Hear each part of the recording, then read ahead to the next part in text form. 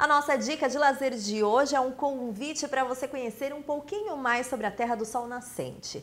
Nesse domingo, dia 5, acontece o Festival da Cultura Japonesa aqui em Santos, com muitas atividades, gastronomia e atrações.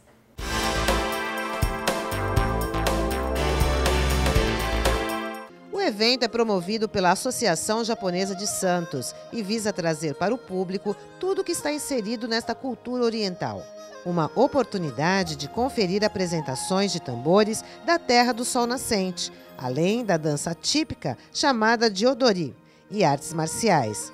Também haverá exposições e oficinas de quebana.